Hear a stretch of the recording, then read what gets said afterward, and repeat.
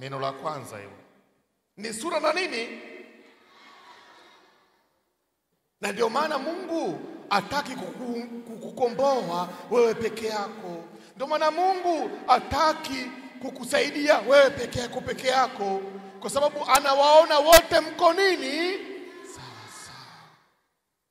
Sasa kama wote tuko sawa sawa, kwa nini tunatengana? Kama wote tuko sawa sawa, kwa nini tunagombana? Kama wote tuko sawa sawa, kwa nini tunasengenyana? Kwa nini tunatukana? Kwa nini tunatendeana kikatili? Ni nini kimeingia katikati? Ni nini ambacho kimeharibu? Ni nini ambacho kiko tofauti kwa mwenzako ambaye ni sura mfano wa Mungu? Hebu mchekee kwanza huyo mwenzako, mwambie oh, sura ya Mungu nzuri namna hii. Oh, sura ya Mungu inapendeza hivi. Sasa kwa nini baadaye unaweza kuichukia sura hiyo?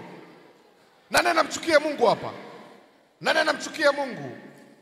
Nani anamchukia Mungu? Yupo anayemchukia Mungu?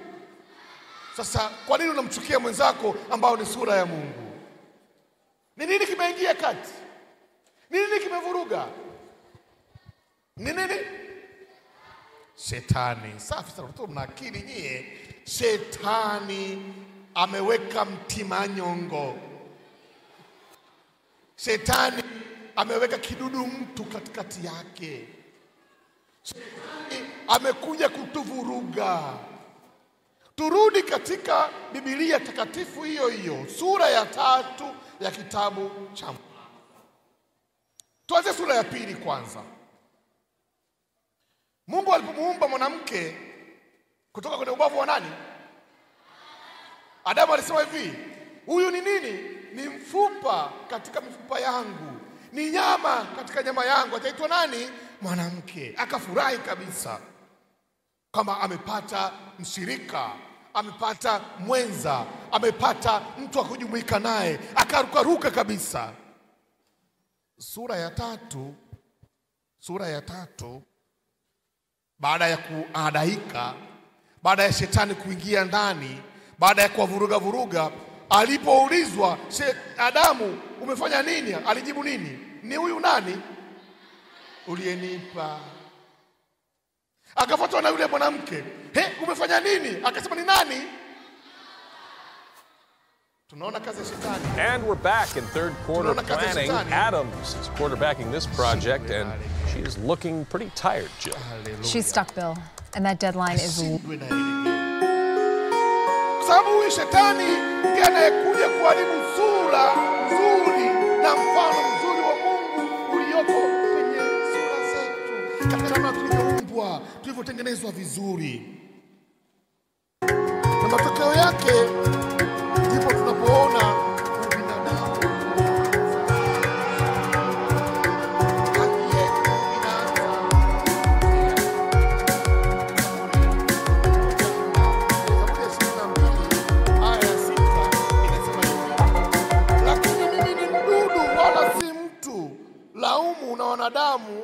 wanadamu na mzao wa watu.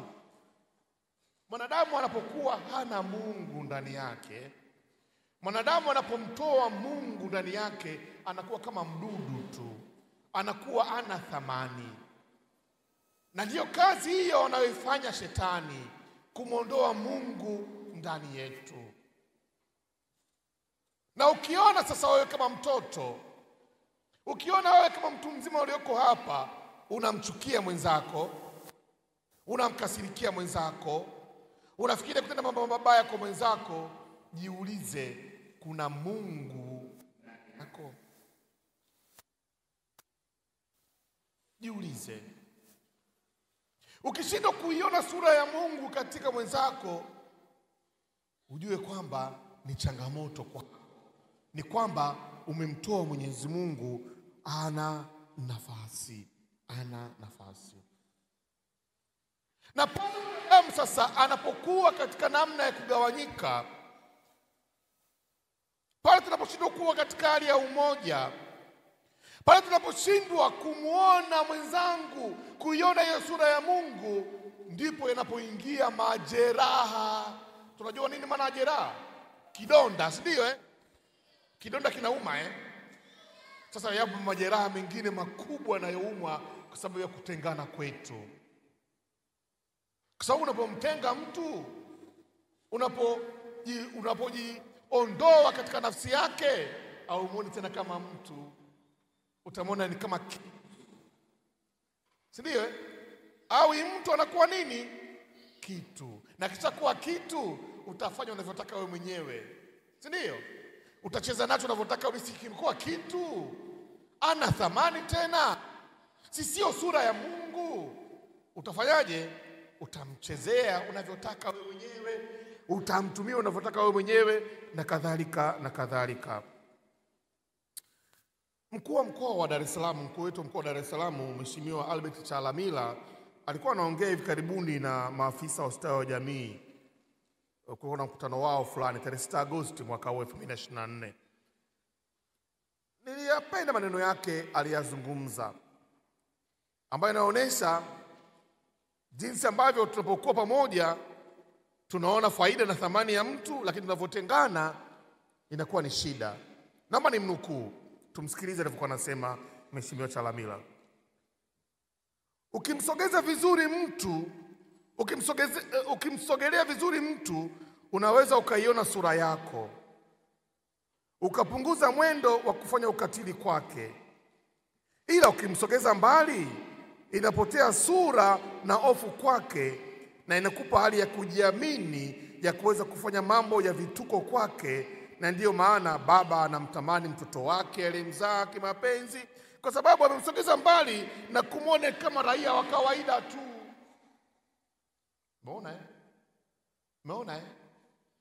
Yaani ukimsogelea mtu karibu, kanaye karibu hivi, unaiona sura yako na utaheshimu na utakaa naye vizuri, lakini ukimwacha mtu mbali, utamwona kama raia wa nini, wa kawaida tu. Utafanya chochote kile cha ajabu kwake, na ndipo hapo inapoingia haya majeraha. Na jeraha la kwanza Jeraha la kwanza kubwa linaloingia ni la ukosefu wa imani. Maanake hilo ndilo linalosababisha na majeraha mengine yatokee. Maanake ukimsogeza Mungu pembeni, ukimwacha Mungu, maanake si una imani, si ndio? Una imani, lakini unapomsogeza Mungu pembeni unapomwacha Mungu, maana yake vile vile unatoa hata ile sura au ile hadhi anayokuwa nayo huyu mwenzako. Na ndio maana leo hii tunasikia vinavyotokea, ukatili mkubwa unaotokea katikati ya watu, watu wanauawa, si ndio? eh? Mlisikia hivi karibuni huko wapi, Bukoba eh? Mtusamee, nasema pale tulihusika huko eh, sawa eh? Lakini kuna yule kijana mdogo nani eh, albino aliuawa, si ndio? Mtu mpaka anamkata mtu viungo vyake, maanake ni nini? Huyu si mtu, si ndio? Tunasikia leo hii ukatili mkubwa dhidi yenu nyinyi watoto, ukatili mkubwa wa kingono, si ndio? Eh, watu ambavyo wanashinda kuwaheshimu, kuona thamani yenu. Ni kwa sababu gani? Haoni kama wewe ni mtoto haoni kama wewe ni mwanadamu, haoni kama wewe ni thamani. Ni kwa sababu gani? Hana Mungu ndani yake. Ni kwa sababu gani? Amepoteza hata ule upendo wa kimungu ndani mwake. Tunashuhudia leo hii vitendo kama vya rushwa, mauaji makubwa yanayotokea katikati ya watu, kutokuwajibika, eh, uvivu na uvivu watoto unaanza toka tukiwa wadogo hivi, toka tukiwa wadogo eh. Ninyi siku mnaitwa generation nini? Generation nini mnaitwa? Generation Z eh? Si ndio? Kwa kweli ni, ni, ni Z kweli kweli, kama zii. Jiiteni sisi ni nini? Sisi ni nini? Zii, Kwa sababu watoto wa siku hizi si wasikivu. Watoto wa siku hizi si hodari kwenye kazi. Watoto wa siku hizi wamejaa kiburi. Kisa bahati mbaya na wazungumzia wale wengine wa- nyinyi hapa nyinyi ni wazuri kabisa, yani nyinyi ni yani nyinyi ni wema kabisa, yani nyinyi mpaka mkuje kwenye kongamano, yani sio sasa, kuna wale wengine wale kule ambao mtaenda kuishi nao, ambao mtaenda kukaa nao, kizazi hiki cha Z ambacho kinapaswa kibadilishwe na sisi ambao tumetoka sehemu mbalimbali kuja kuangalia nini maana ya kuwa ndugu. Ndio maana leo hii si ajabu kuona watu wanatukanana ovyo, na hata watoto tunajifunza matusi, maneno machafu, si ndio? eh? Hatutukanani sisi. Sasa unamtukana mwenzako, unasema wewe kichwa kama nyanya hivi. Unaifahamu nyanya? Si unajua nyanya ikipondeka ikioza inakuwaje? Afu leo unamfananisha mwenzako na nyanya eh? Wewe si mdomo kama chuchunge, unafahamu chuchunge? Kwa nini unamtukana mwenzako namna hiyo? Ana thamani kwako.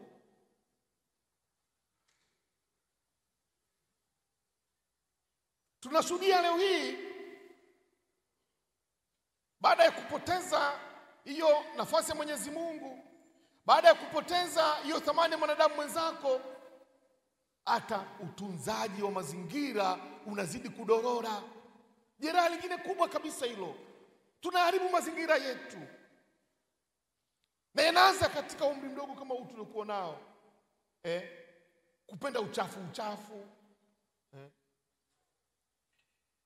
Na niwaambieni watoto wangu wapendwa, uki- uki- ukiona mtu amekuwa mtu mkubwa ni mchafu mchafu, apende mazingira, alitengeneza hiyo toka akiwa mdogo, aogi, apiji mswaki, mtu akupiga makelele ovyo tu, tupatupa tupa takataka anavyoweza, maanake yeye ajijali na amjali mwanadamu mwenzake. Haya yote katika ujumla wake yanatujeruhi, yanatupiga, yanatuondoa katika ule undugu, katika ile hali ya kuthaminiana, katika ile hali ya kuweza kuiona sura ya mwenzako ambaye unakaa naye. Kwa Kongamano letu la Ekaristi la mwaka huu limechukua limechukua kichwa cha habari kwamba udugu kuponya ulimwengu, na sisi sote ni nini? Ni ndugu, na inakusudia tujifunze nini maana ya kuwa ndugu ili tuuponye ulimwengu. Sasa tutaweza kujua nini maana ya kuwa ndugu kama tukimweka Yesu Kristo kama kielelezo cha undugu kwetu.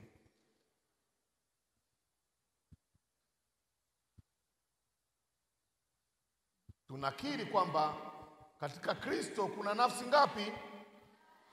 Katika Kristo kuna samani, kuna kuna asili ngapi katika Kristo? Ambao ni nini? Mungu na nini? Mungu na nini? Na mwanadamu. Nataka nizungumzie huyu Kristo mwanadamu, analeta faida gani katika sisi na anatusaidia kitu gani? Hii nafsi ya pili ya Mungu imetwaa hali yetu ya kibinadamu, na waraka kwa Ibrania unasema isipokuwa dhambi, lakini imetwaa hali yote ya kibinadamu. Na huyu mwanadamu tangu mwanzo alipoumbwa, aliumbwa kikamilifu, aliumbwa vizuri. Sura ya pili kitabu cha Mwanzo kinasema baada ya Mungu kuumba akaona yote aliyeumba tazama ni nini? Ni mazuri. Kwa hiyo kazi ya uumbaji kama kazi ya uumbaji haina shida yoyote. Shida mmeisema ninyi wenyewe kwamba dhambi kufanyaje? Kuingia. Sasa ili ambalo linatokea kwa Kristo kuja ulimwenguni na kutoa binadamu wetu ni tendo la ukombozi wetu sisi wanadamu. Ukombozi wenyewe unaeleweka katika ile maana au namna ambavyo tunarudishwa sasa katika ile Mungu alivyotumwa tangu mwanzo, katika ule ukamilifu ule ule, kwamba binadamu huu unapaswa kuwa vipi mbele ya Mwenyezi Mungu. Hilo linalofanyika na tunapobatizwa na sisi tunashirikishwa hiyo hali, tunarudishiwa tena hiyo hali ya kimungu, tunakumbushwa tena hiyo huo ukubwa, lakini zaidi tunainuliwa kwa namna pekee, sababu Mungu anakuwa pamoja nasi, anakuwa pamoja nasi. Jiulize, huyu Kristo ametukomboa kwenye nini? Je, ukombozi huo unaonekana namna gani? Ndio tunarudi sasa kujiuliza kwa nini dhambi ilitokea. Dhambi au kosa la wazazi wa kwanza lilikuwa ni nini? Watoto, swali hilo. Kosa lao lilikuwa ni nini? Kukosa. Jipigeni makofi.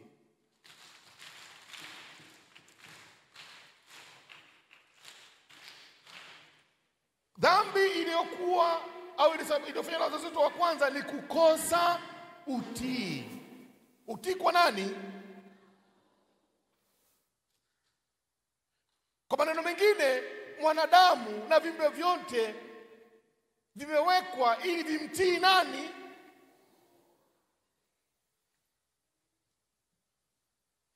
Na hivyo Kristo anapokuja duniani anakuja kutukomboa, maanake kutufanya sisi tujue namna ya kufanyaje, kufanyaje, kumtii nani? Mungu, na akatufundisha hivyo katika eh, msalaba upo katika msalaba au pale msalabani, akatuonesha namna ya kutii kwa Mwenyezi Mungu, na akasema Luka sura saba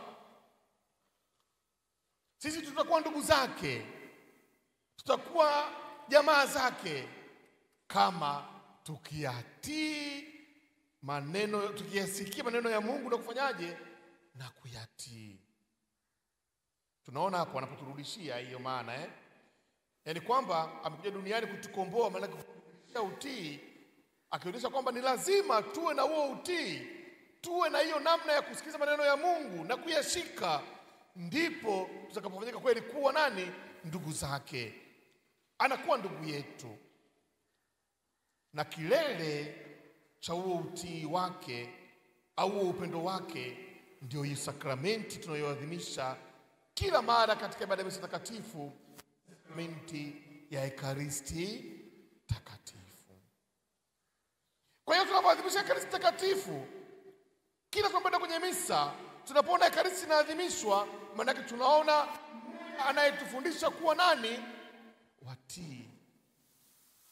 Lakini vile vile tunamwona mmoja ambaye anatuunganisha pamoja katika huo utii, anatufanya tuwe wamoja katika kumtii Mwenyezi Mungu, kuwa na njia kumfuata huyo Mwenyezi Mungu. Ule wimbo mliouimba wa Ekaristi eh, lebeti la kwanza. Ndivyo unavyotuonesha Bwana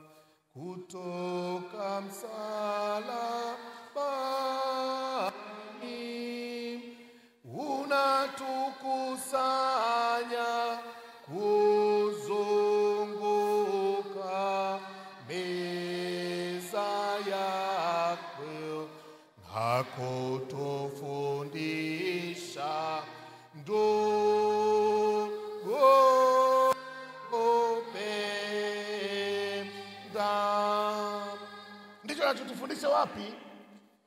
Wapi? Tunapozunguka nini? Anatufundisha nini ndugu, kufanyaje? Baba Askofu Msimbe alipokuwa anatufundisha hapa mahubiri yake, alituuliza wangapi wamepokea kumnyima kwanza hapa? tulinyoosha, si ndio? Wangapi? Wengi kweli. Lakini je, tukijiuliza leo hii tumefundishwa au tumeelewa maana ya huo upendo Kristo anaotufundisha? Maanake sisi tumekuwa hiyo ekaristi huko mtaani. Hivi kweli watoto wenzetu tunakaa nao huko hawateseki na sisi tunafurahi tu, lakini tunashiriki ekaristi takatifu, lakini tunashiriki meza yake na tunaimba kabisa la kutufundisha ndugu kupe, kupenda gani huko? Kupenda gani? Mhashamu Askofu Mkuu wa Jimbo la Arusha, Askofu Amani, hivi karibuni kule Kibosho alikuwa anazungumzia masuala ya watu wanavyouana, watu wanaopendana, afu anasema huu ni wivu wa mapenzi. Akauliza, mapenzi gani ambayo yanamuua mwenzako? Hivi unaweza kumpenda mtu afu ukamuua? Eti watoto, unaweza kumpenda mtu ukamuua? Kumbe inaonekana bado hatujaelewa nini maana ya huko kupenda, na Yesu Kristo anatufundisha maana ya upendo huo. Sasa sisi kama wana kanisa, sisi kama Wakristo tunayo kazi ya kufanya, na ndio maana kuna kongamano la Ekaristi na taratibu nyingine nyingi zinazokuwapo katika kanisa.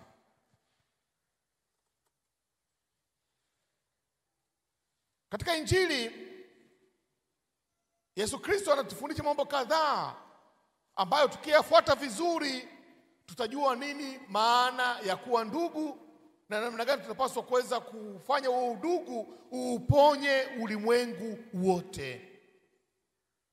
Na mambo hayo ni kama ifuatavyo. Samanake hii ni kazi ya kufanya. Haya ni mambo ambayo tunapaswa kuyafanya ili tuweze kuwa ndugu kweli, na kwa kuwa ndugu kweli huko tuweze kuwaponya watu wote. Jambo la kwanza of course, na la pili inaunganika, yako katika ile amri ya mapendo. Mpende Bwana Mungu wako na mpende nani? Jirani yako. Naanza na la kwanza, ili la kumpenda Mungu. Kumpenda Mungu, maandiko matakatifu yanatuambia ni kuzishika amri zake. Mtu akinipenda mimi na kulishika neno langu na kulishika neno langu na baba yangu atampenda.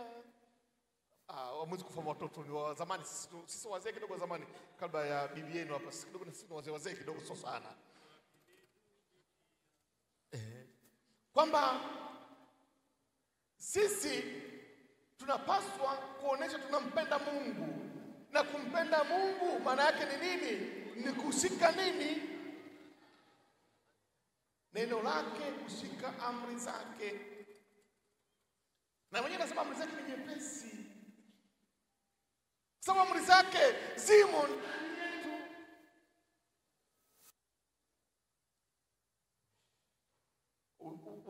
Unauliza kitu kimoja, watoto, nauliza kitu kimoja eh?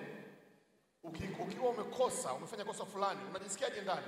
Hata kama mtu hajajua, unajisikia vibaya eh? Unajua kwa nini? Kwa sababu amri ya Mungu kimsingi yale ni maneno tu. Amri ya Mungu imo ndani mwako, itakusuta. Ukiiba hata kama mtu hajakuona, lakini baadaye ukikutana na mama hivi unaona mm, kama kanaona nilikuwa nalokua sukari ile mm. Yaani utaona tu unaumia. Kwa sababu gani? Hiyo amri iko ndani mwako. Kwa hiyo kumpenda Mungu ni kuzishika hizo amri zake, na moja amri yake anakuambia ndio hilo la pili sasa la upendo kwa jirani. Mpende jirani yako, mpende mwanadamu mwenzako. Na ili Kristo, Yesu Kristo anatufundisha vizuri kabisa, na anasema hakuna upendo kama wa mtu kutoa uhai wake kwa ajili ya nani? Ya wenzake. Je, sisi tunapendana vipi watoto? Tunapendana vipi sisi? Je, uko tayari kujitoa kwa ajili ya wengine eh? Waga naongea na wale watoto Dar es Salaam huko. Dar es Salaam tupo eh? Tunafahamu yale mabasi yetu ya njano ya shule yale, zile school bus, ndio eh? Wale- wakati wale wengine wanasoma nini kidumu mfagio kama mimi, sisi tunasoma kidumu mfagio, si ndio? Siku hizi kuna school bus, si ndio? Akienda nyumbani ana, ana, ana, anapewa nini to lunch box, si ndio eh? Ka boksi, vimaji kidogo, si ndio? Anafika wapi? Shuleni. Hivi ukimwona mwenzako pembeni amekaa ana la unamwangaliaje? Unamwangalia vibaya au unabaki mwenyewe umejikunjia mwenyewe na uchoyo wako? Alafu unasema kwamba mpende jirani yako kama unavyojipenda mwenyewe. Unajipendaje?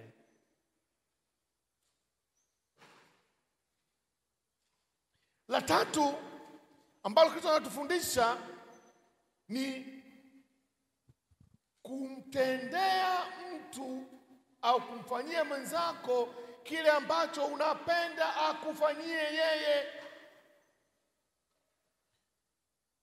Nani, ana, nani ana, anafurahia akifinywa? Unajua kufinya? Naye anapenda kufinya? Hakuna. Nani hataki afinywe?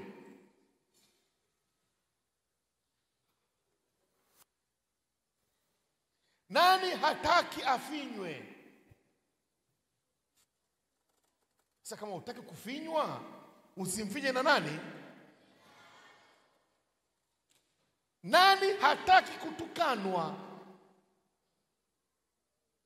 Kama hutaki kutukanwa, usimtukane nani? Nani hataki kuibiwa? Kama hutaki kuibiwa, basi usi- usimwibie nani? Yaani kwa ujumla wake, kama utaki kufanyiwa baya na mwenzako, na usifanyaje? Usimfanyie.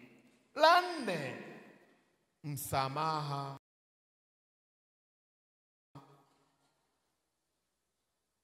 Msamaha.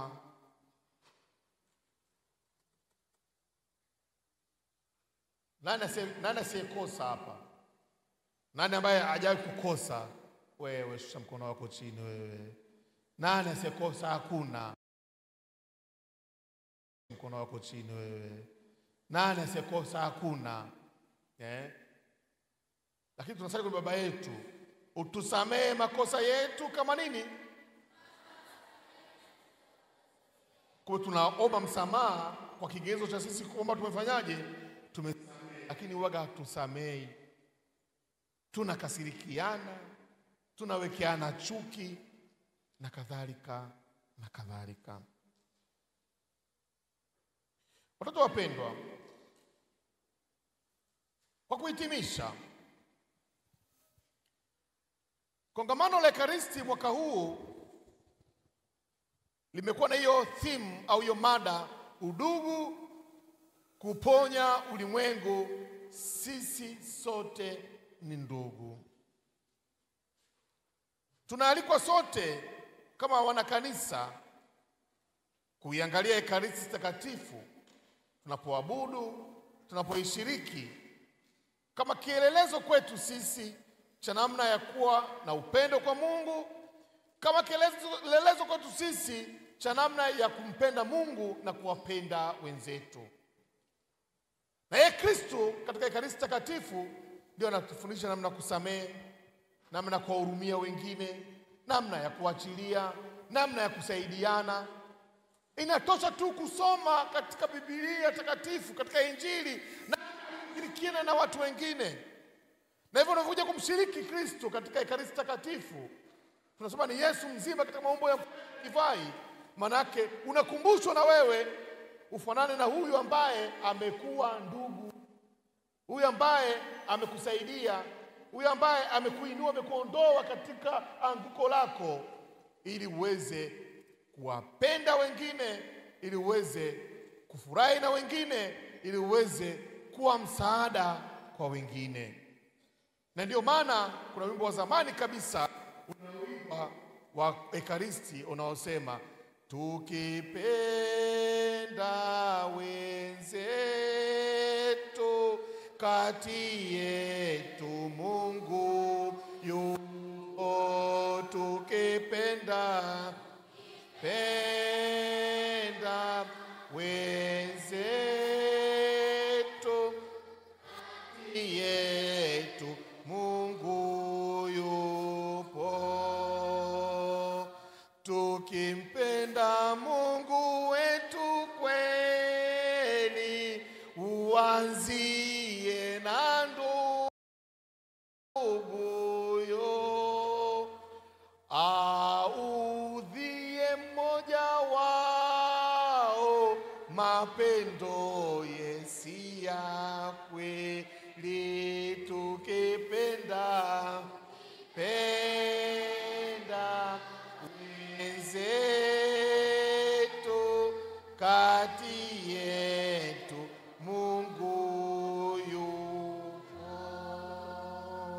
Tumsifu Yesu Kristo.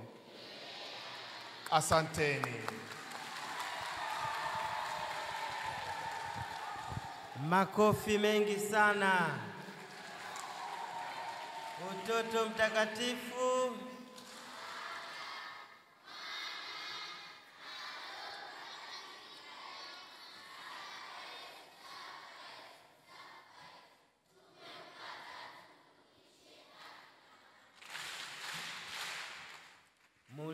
Mwenzako umeelewa?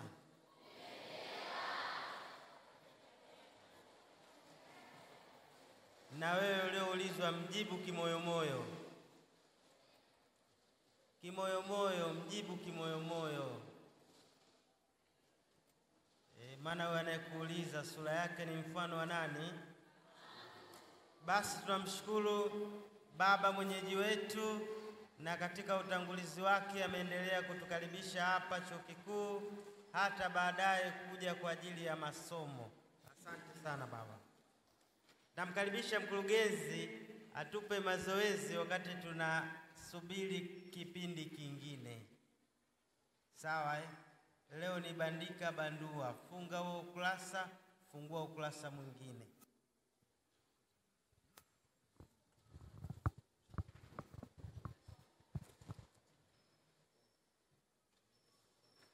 Tumsifu Yesu Kristo. Tumsifu Yesu Kristo. Aya, nawaomba kanisa linalokuwa wamisionari, kanisa linalokuwa msimame.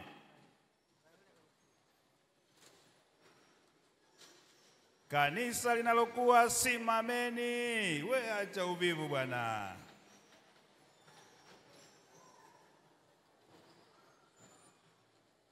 Haya, tunaitikia. Wamisionari hapa chuo kikuu, mpo hapa? Kwa maadhimisho, kwa semina, kwa uchangamfu. Nini kinalia? Nini kinalia? Wamisionari hapa chuo kikuu, kwenye semina, kwenye maadhimisho mnafurahia nini? Kinalia Yesu na Maria.